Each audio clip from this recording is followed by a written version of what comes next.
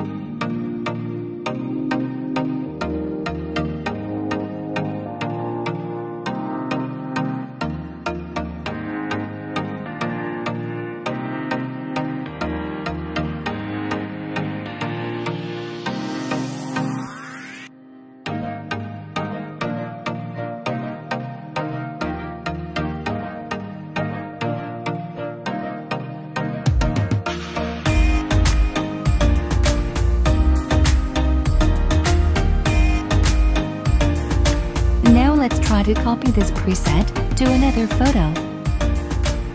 Copy setting.